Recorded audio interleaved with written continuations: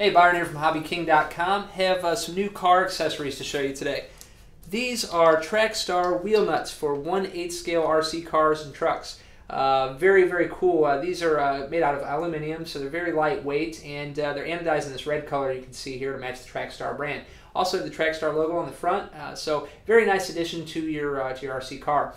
Now, this fits a 12 millimeter axle and actually has a rubber seal inside as well. Uh, one nice thing about these, uh, as compared to some other uh, uh 8 scale uh, wheel nuts, is that these are closed. There's a sealed design, so this does help to keep dirt, dust, and mud, things like that, out of the axle of your car.